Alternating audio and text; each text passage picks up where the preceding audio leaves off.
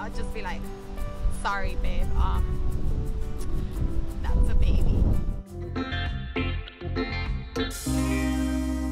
Hey guys, thanks for joining me today. This is Jenny from Awake Mama, and today I bring you all about my experience in my weeks one through four during my pregnancy. So, uh, you know what? Let me stop talking, just stay watching.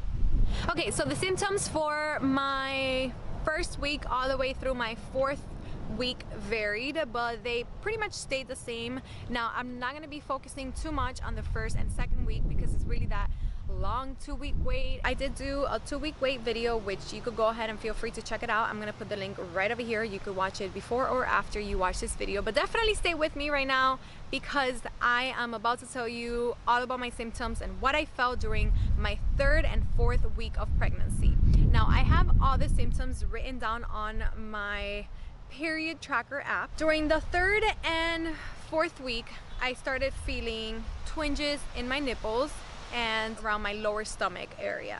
So I started feeling twinges, sharp pains, butterfly feelings and like just like fluttering feelings but it was on and off. It was not every day. I also had slight headaches on and off ever since like i got pregnant it was just like my number one thing it was just headaches and it was really weird for me because i don't usually get headaches it wasn't like something that i couldn't stand but it was just something that it was there and i was like why? And I did feel super hungry that week, day that I got the positive pregnancy test. I felt really hungry, but I hadn't really eaten much that day, so I can't really say like, oh my god, I'm already feeling hungry because I have a baby inside of me because I know it was too early. I'm just telling you what I felt and what I wrote down. So I got the positive pregnancy test on Monday and then I got I had nausea on Wednesday, which it was my third positive pregnancy test. We were going to the doctor that Wednesday. I told my boyfriend, I was like, hey, let me go to this gas station in the corner because we really don't have like anything here to eat and we woke up kind of late. I remember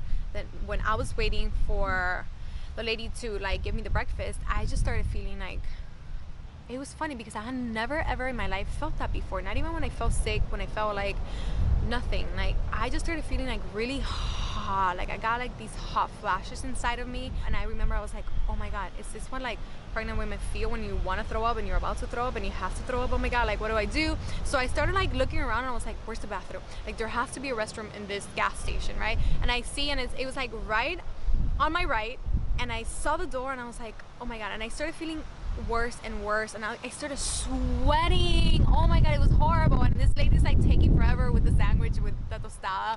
And I'm like just sweating there like waiting and waiting. And like I'm just starting to feel now like something weird in my stomach. And I'm like oh my god don't throw up Jenny. I have to check if the bathroom is open. And I was like okay it's open. So I kind of like left it kind of open because I was like I can't just throw up in the middle of like everyone here. There was like a line waiting for like people just waiting for their food and I'm waiting for my food and I'm up next and this lady's taking forever and it's just two lattes and two tostadas. And I'm like, okay, so I check the door, I leave it like a little open just in case I have to like run. And right when I'm feeling all of that, I'm just sweating balls. The lady's like, here you go, miss. And I'm like, oh, thank you. I throw her a tip.